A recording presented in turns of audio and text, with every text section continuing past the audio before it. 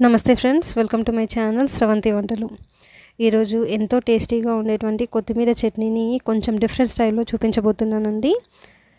ఇప్పుడు నేను చేసినట్టుగా ఒక్కసారి ట్రై చేసి చూడండి ఫ్రెండ్స్ చాలా అంటే చాలా టేస్టీగా ఉంటుంది. దీనికోసం ముందుగా స్టవ్ ఆన్ చేసి మూకుడు పెట్టానండి. ఇందులో ఒక టీ స్పూన్ వరకు ధనియాలు ఒక టీ స్పూన్ వరకు మెంతులు అలాగే ఒక టీ స్పూన్ వరకు మిరియాలు వీటిని డ్రై రోస్ట్ చేసేసి మంచిగా గ్రైండ్ చేసి పెట్టుకోవాలండి. దీని వీటి వల్ల చాలా అంటే చాలా టేస్ట్ వస్తుంది చట్నీకి. అలాగే ఇందులో ఒక టీ స్పూన్ వరకు చెనాదాల్ పచ్చిశనగపప్పును యాడ్ చేసేసి కొంచెం రోస్ట్ చేశానండి. అలాగే ఇందులో కొద్దిగా చింతపండును కూడా యాడ్ చేసి రోస్ట్ చేసిన తర్వాత దీన్ని మిక్సీ పట్టుకోవడానికి మిక్సీ జార్లో వేసాను ఇప్పుడు మూకుడులో ఒక టీ స్పూన్ వరకు ఆయిల్ యాడ్ చేసేసి ఇందులో మనకి చట్నీకి సరిపడా పచ్చిమిర్చిని వేసేసి మంచిగా రోస్ట్ చేసుకోవాలండి కలర్ చేంజ్ అయ్యేంత వరకు. ఇలా కలర్ చేంజ్ అయ్యేంత వరకు వేయించడం వల్ల మంచి టేస్ట్ వస్తుంది. చూడండి ఇలా వచ్చిన తర్వాత మనం తీసేసుకోవడమే. ఇప్పుడు ఇదే ఆయిల్లో ఒక రెండు కట్టల వరకు కొత్తిమీరని యాడ్ చేస్తానండి. మనకి కొత్తిమీర ఎక్కువగా ఉన్నప్పుడు ఏం చేయాలా అని ఆలోచించినప్పుడు ఇలా హెల్తీగా మనము కొత్తిమీర చట్నీ చేసుకోవచ్చండి.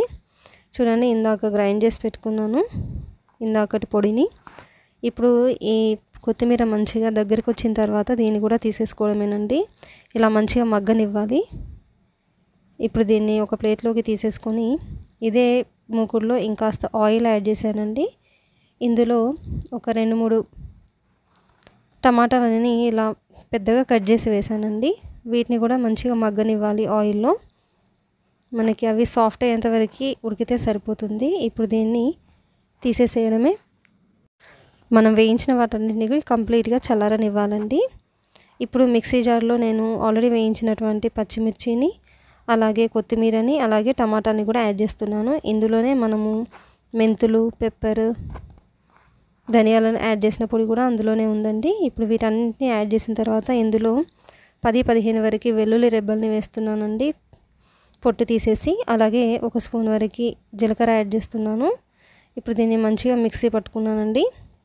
ఇప్పుడు ఇందులోనే తగినంత సాల్ట్ యాడ్ చేసి మరొకసారి గ్రైండ్ చేస్తున్నానండి. కచ్చపచ్చగా గ్రైండ్ చేసుకుంటే సరిపోతుంది. మరి స్మూత్గా గ్రైండ్ చేయని అవసరం లేదు. అప్పుడే టేస్ట్ బాగుంటుందండి.